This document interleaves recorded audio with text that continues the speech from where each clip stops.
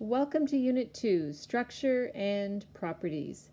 This unit in the textbook is divided into two chapters, uh, chapters 3 and 4. So we'll begin with chapter 3, which relates to atomic structure. Now the next two slides here have a list of the learning goals for this chapter. So when you're looking to summarize what you've learned, you may want to revisit these learning goals. You'll notice in the first learning goal here that you should be able to discuss the development of the atom from earliest atomic theory to modern day theory of the atom. So the earliest atomic theory here, that's lesson one, so the current video. And then the modern day theory of the atom refers to the quantum model. That'll be covered in lesson two. Both Rutherford and Bohr here are considered part of the earlier atomic theory, and so they'll be covered in lesson one and all of the terminology will show up as we go through the unit. And so these are the learning goals that we'll focus on for this particular lesson, but you'll see that I have a sequence of learning goals that cover really everything we do in chapter 3. So you'll notice here we continue to be able to draw energy level diagrams and electron, electron configuration, and then get into quantum numbers and properties of elements in the SP and D blocks of the periodic table. So all of these learning goals apply to lessons that are coming up in chapter 3. Okay, so I'm not sure if you're able to see a video on the screen right now. It is um, from a TED lesson. I've put the URL so that if you can't see it, you could move into a browser and go and check out the video. It's about five minutes long. I'd like you to watch this video and then come back to my video. Okay, so hopefully it's visible for you right on the screen, but if it isn't, there's the URL. Go watch it, it's five minutes, and then come back to this video. Okay, so you've watched the video. We are going to focus in on Rutherford's model of the atom and in the next slide, Bohr's model of the atom. So you'll recall from the video that Rutherford experimented with a gold foil apparatus. There was a source of helium nuclei referred to as alpha particles, which are have a positive charge. And then we have, I've drawn it in yellow here, the gold foil. And this curved part here was a detector screen, so zinc sulfide detector screen. So based on your recollection from the video then, what do you recall happening to the alpha particles as they pass through the gold foil? Just to slide up here, you'll see I'm looking for you to recall and fill in the blanks for the observations and then come up with the inferences. And so observation number one, what did we, what did, what was one of the key features of the results here? Hopefully you're recalling that most of the rays passed straight through. And so Whoops. And so there are lots of rays passing straight through, striking the detector in the middle of this curved screen. Okay, so most rays pass straight through. Okay, now what else happened? Well, there was some deflection, yes. So hopefully you've, whoops, hopefully you've remembered that. There definitely was some particles deflected.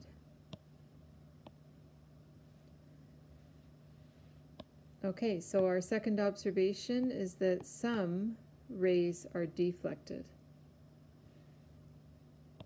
Last observation is that very few were actually reflected. And so I've drawn multiple rays passing through, a few, four of them deflecting, and only two reflecting. So the idea here, I'm looking to exaggerate the results here, but to show that in these observations, most rays do pass straight through the foil, some are deflected, and very few are reflected. So what are the direct inferences then that we can make about these about the atom. So based on the fact that most rays pass straight through, we could say that the atom is,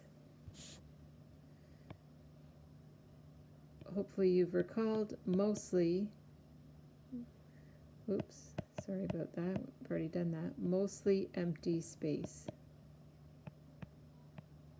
We'll draw a picture of this in a minute. Now what about the fact that some of the rays are deflected?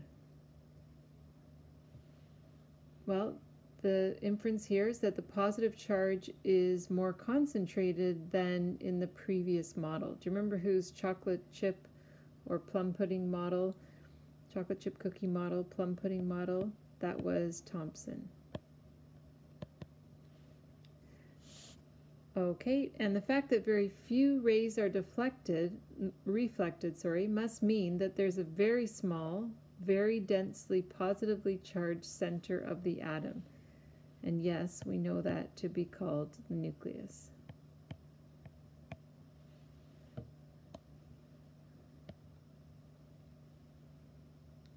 So if we're comparing Thomson's plum pudding or chocolate chip muffin or chocolate chip cookie model to Rutherford's nuclear model, Rutherford was actually expecting different results than he obtained. So recall, and I'm just showing you down here to summarize here, recall that Thomson's idea of the atom was that there was positive charge loosely spread throughout the sphere. And so this positive charge here is not strongly positive, it's really spread throughout the sphere. And then the electrons were just negative charges spread throughout the atom. So what was he expecting as these rays approached? Well, he said it was like shooting a bullet at tissue paper. He was expecting that these rays would pass through. Yes, these are positively charged particles, but the positive charge in the atom was so loosely spread out that he wasn't expecting really much repulsion there at all.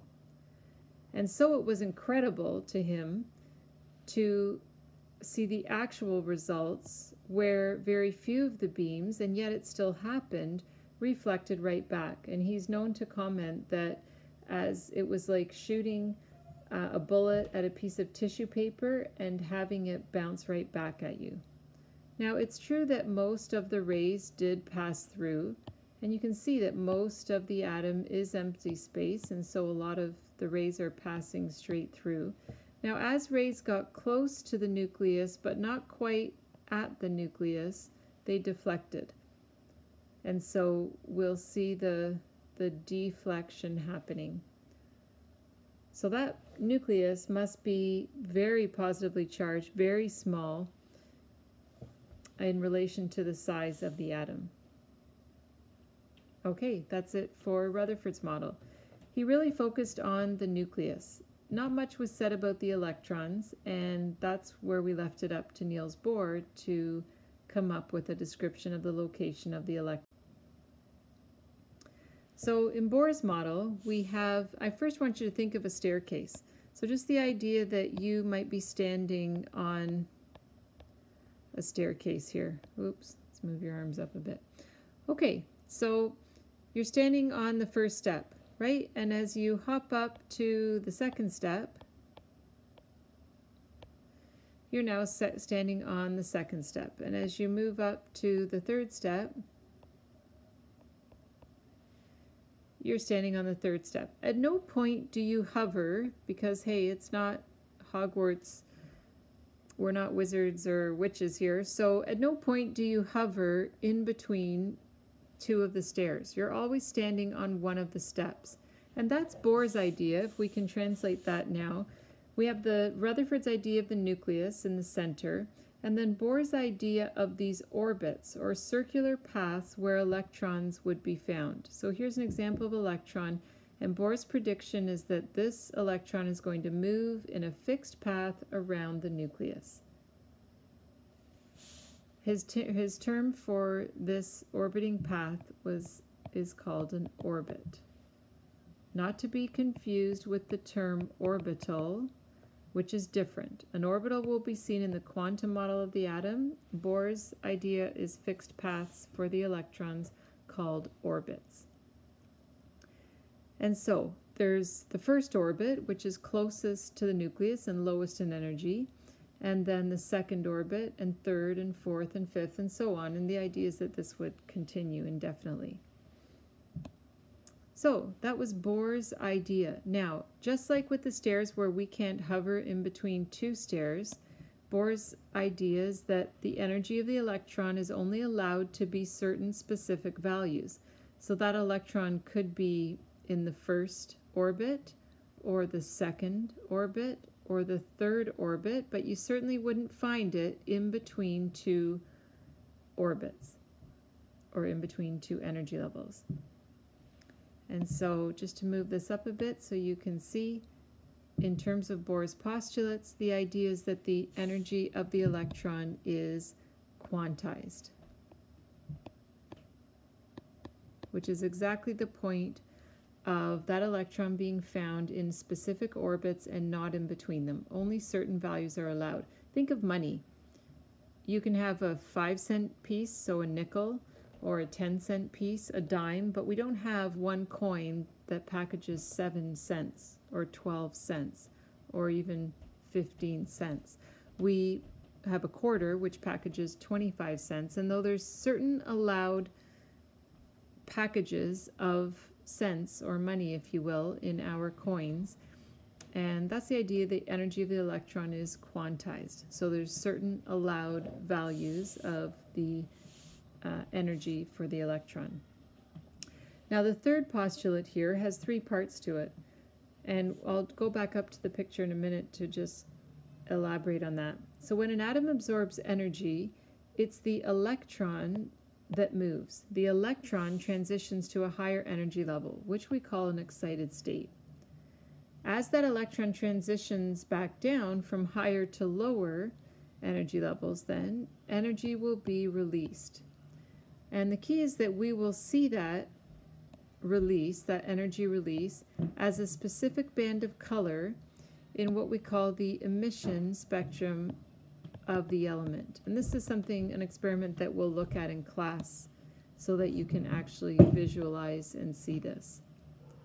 So just to finish this actual picture here, let's imagine that in the hydrogen atom we have an electron in the ground state. Ground state is the lowest energy, most stable place for the electron. So ground state is the lowest, lowest energy state of the electron. And for hydrogen, that electron is found in the first shell.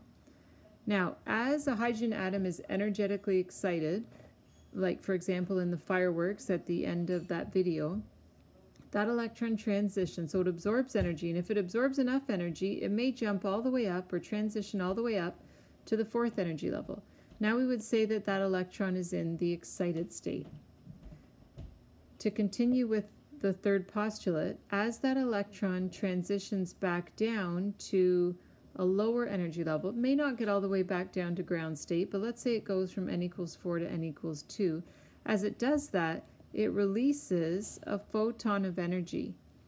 And that may correspond to a specific band of color in the visible spectrum of light. So we'll be looking at gas discharge tubes and observing the emission spectrum of various elements. Uh, know that Bohr studied in particular the emission spectrum of hydrogen. And so that's the first one we will look at. Now, if his model had been correct, then he would have been able to predict the emission spectrum of multi-electron atoms. But in fact, his calculations did not prove to be accurate, and so the evolution of atomic theory continued, uh, developing into the current model, the quantum model of the atom, which will be the topic of our next video. So just to show you the very bottom of this note was really just finishing writing in those postulates. So hopefully you have that down and you're good to go.